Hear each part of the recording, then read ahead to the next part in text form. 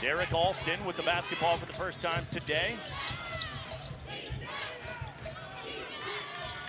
Top of the key tray from Alston, nothing but net. Boise State draws first blood. 15 minute mark, first half, 8 to 4. Boise State leading CSU.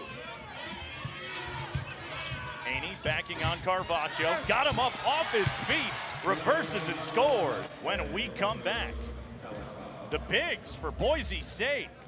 See if CSU can get Carvacho going as he bodies up and battles with Wacker. Martin puts it on the floor, goes to the bucket and finishes. So they got two bids uh, because of that upset win over Nevada. Hobbs drives and scores, goes right at Ryan. Pass Carvacho to go, Coach uh, Rice. To be fair, the coach was open. Beautiful feed into the post, and Hobbs with the finish. Broncos have done good work on the boards today.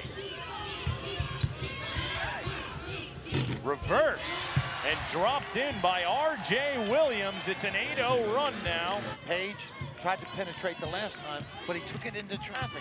This time he went the strong side left-hand drive. CSU gets it back ahead to Edwards who finishes. Thought Spitz was a swimmer. Alston on the drive and the finish. little, he did a little diving, uh, springboard diving in his day. Come on. Final, gotta go to win the Final Four national championship, or they're gonna have 20 losses. What research? Paige at the buzzer. There you go. Colorado State. Huge bucket at the horn. Not used to playing as many consecutive minutes.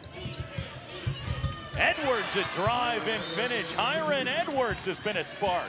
Haney been great on the offensive glass, but Paige the steal. Spin move, JD Paige off the window and one. Away by Ryan. Back comes Moore. Paige on the drive, Euro step, swatted away by Williams. into the difficult shot. Hobbs to Alston, he'll hammer it down. It's 40 uh, percent. There's the nice lob and the slam.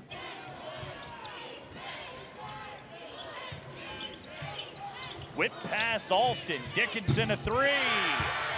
13 point lead, to Boise State. Program is really on the map right now in this half of the country.